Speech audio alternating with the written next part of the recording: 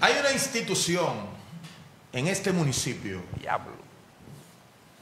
que es lamentable lo que está sucediendo en esa institución.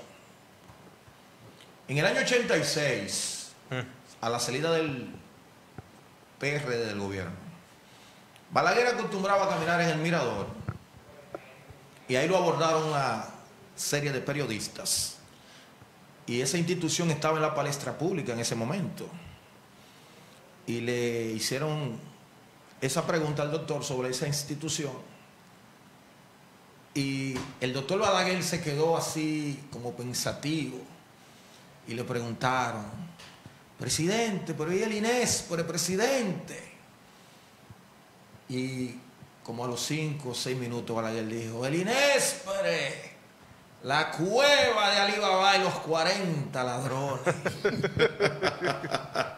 Increíble. Y el viejo no se equivocó. Hace muchos años de eso, fue en el 86, estamos en el 2021. Y continúa la mafia en el Inespre. No, No, tú crees, no, tú crees. no, no, no. Y lo grande del No, caso y lo que a mí me duele No. Vale, vale, algo. es que son de la administración pasada. Ah, ok. Casi todos los empleados ¿Qué? ejecutivos de esa institución. ¿Cuál es la vuelta? Oye, muchacho. Ahí hay un tipo que le llaman Richard Mercedes. Hijo de un hombre tan serio, mi hermano. Que era íntimo amigo de Hipólito Mejía. Míralo ahí donde está. ¿Con quién está ahí Richard Mercedes? Con el, el- el ex incumbente de la gestión pasada, el. Zorrilla Osuna. Ok. Richard Mercedes, el director comercial del INESPRE. Pero él, para todo el mundo, es el director del INESPRE. Con él es que hay que hablar. Richard Mercedes, de 50 camiones que tiene el INESPRE, por ejemplo, 42 son de él. ¿De 50? De 50 camiones, un, por decir, 42 son de él. Diablo. Sí. Él es el tipo que, que maneja el INEPRE a su antojo y... Lo operativo. Sí, él es el que busca los cuartos, él es el que sabe dónde está todo, la búsqueda. Pero entonces Con tiene él es que hay que hablar. De la gestión pasada, míralo ahí donde está.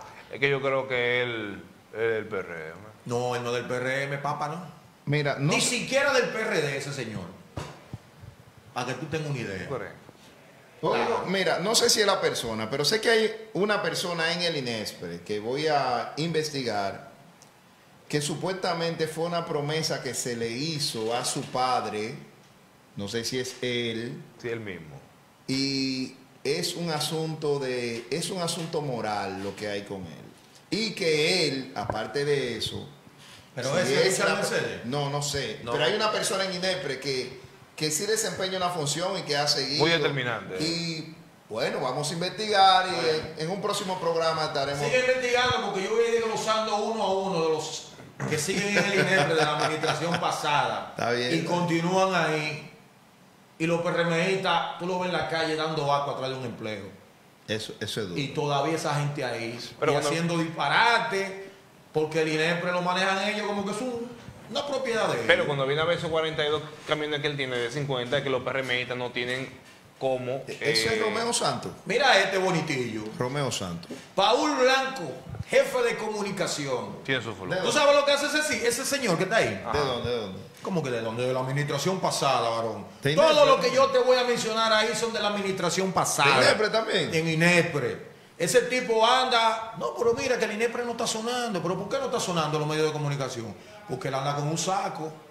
Y donde quiera que un comunicador va a hacer una denuncia de Inespre, él va y le lleva 50 mil pesos, Pero tú- 100 mil pesos y le calla la boca a los youtubers, a los comunicadores de los diferentes programas de comunicación de, del país. Entonces, ese tipo, hay que ver lo que el presidente va a hacer con ese tipo. Con lo voy con un megáfono para mencionando. INEPRE 50 que da 50 y 100 mil pesos. Es- ese, ese bonitillo que tú ves ahí. El lunes estoy yo con un megáfono. Es la administración pasada, es un, es un entramado que hay ahí. Está haciendo su diligencia. Pero bien. Y algún año y pico de gobierno todavía lo- no hay un PRMista que pueda ocupar esa posición de ese señor. De- no es que la comunicación es muy difícil. ¿eh? Ni de Richard Mercedes, director comercial del INEPRE. Para estar contando yuca y plátano ahí hay que ser eh, ingeniero de la NASA. No, bien. ¿Tú crees? Sígueme. Juan de la Cruz, encargado provincial De- También de la administración pasada. de la administración Por la pasada. Mira que los PRDistas no saben hacer Y oye lo de este sujeto, ese está suspendido por ética, por acoso sexual y corrupción, pero sigue en sus funciones. Sigue activo en el INEPRE con todo y eso. Por la foto que tiene le está yendo bien. Pero claro que Pero, le está pero el bien. ministro de Agricultura fue destituido por, por, aco- por, por una supuesta. No, no, no, que- de que- agricultura no, el de IAD. fue. Ah, fue el del IAD, el amigo de nosotros. director del IAD. Que es el que debe de estar en el INEPRE, presidente. Que está en el banco. Faña. Coño. Claro. Claro. Ahí falta el jurídico. Míralo ahí. Consultor jurídico del INEPRE. También de la administración pasada. Todos son de la administración pasada, caballero. De ocho, como de nueve funcionarios que hay en INEPRE, son siete del PLD. Y si acaso son dos del PRM. Para que tú tengas una idea. Pero te puedo hacer una pregunta. Hágala. No hay funcionarios en el PRM o no hay quien pueda ocupar esos puestos. No hay una explicación. Dígame, hermano. Que Pero, pa- eh, mira, aquí me dice, me que dice no. de avanzada PRMista que Obispo de los Santos es un hombre íntegro, íntegro del PRM. Del PRM. Sí, Pero usted es de la administración pasada en INEPRE. pero usted es del PRM. Pero ¿cuándo se cruzó para el PRM? Hombre. Obispo, Eh, sí. Teresa, me pusiste a Teresa ahí. un amigo de nosotros. Teresa Mota, esa es la que enca- el encargada de programación, esa es la que programa los camiones. Esa es la que dice "Cam- el camión tal va para tal sitio. el ca- Pero yo lo que pasa con los camiones de INEPRE. ¿Cuál es la vuelta? Por ejemplo, perdón, un camión va para Barajona, fletado de plátano, yuca, pollo, full, con la lona hasta el techo, que tú no lo ves el camión. ¿Qué pasa? Se mete por un almacén el camión Ajá. y se lo venden a un dueño de un almacén. ¿Qué hace el dueño del almacén? Saca los mejores productos, saca los mejores plátanos, saca los mejores eh, guineos, racimos de guineo, eh, los mejores... No, eso es especulativo, hermano. Especulativo no. Eso es especulativo. especulativo no, usted se equivocó, eso es así. Eso es, eso es dado a interpretación. no, no, eso es así, hermano. Pero, ah, Cuando el hay camión imágenes llega, eso, hay imágenes hay imágenes por ahí. Sí. Cuando el camión llega a donde le toca llegar, Ajá. el camión llega con la lona adentro. Se vendió. Ya lo que llegan son las rabizas de plátano. No, No no. llegan los, eh, los pollos, no llegan. ¿Venden pollo? Do- claro, pero tú lo ves los pollos.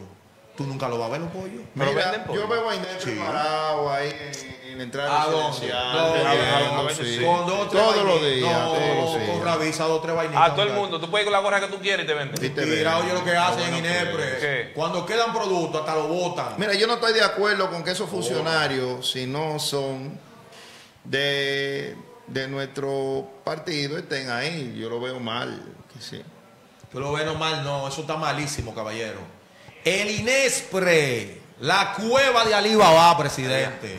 Iván Hernández, un bonitillo, Real. el real. director de Inespre, un bonitillo, que, oye, la- él se muere tres veces y no ve a acabar el dinero que él tiene. Ese tipo lo que tiene que el presidente que quitarlo de ahí, es un bonitillo de Santiago. Nieto de don Antonio Guzmán, que la mamá también es ahora embajadora en Washington. Está bien, sí, Sonia es Guzmán. Antonio Guzmán. Ah, bueno. Es Ese tipo lo tiene que quitar. Ese tipo no sabe nada de agricultura, hermano. Va.